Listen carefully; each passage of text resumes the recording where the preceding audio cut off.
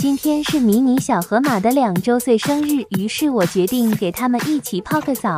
这些孩子是他们的后代，每天都能出去给我捡回来点瓶子和用品。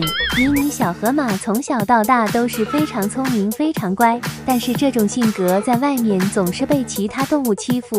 幸亏你们没有毛，要不给你们洗澡就得累死我。经过了三十秒的泡澡之后，迷你小河马们也非常开心。今天就是这头小河马过生日，让我们一起来祝福它吧。虽然没有像样的蛋糕，但是给你们准备了最爱吃的草莓，看它们吃的特别开心，脸上也露出了笑容。